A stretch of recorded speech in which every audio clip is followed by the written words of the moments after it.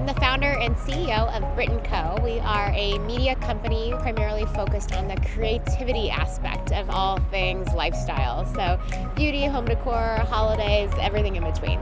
I saw the opportunity for what media could become over the next decade. You know, where television was moving and print was moving. I really wanted to create a new type of community for millennial women. We are very collaborative as a company. I'm very transparent about the business.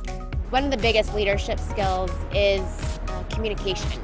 And it sounds trite, but uh, a lot of people don't know how to effectively communicate. That communication probably is at least 50% of my job.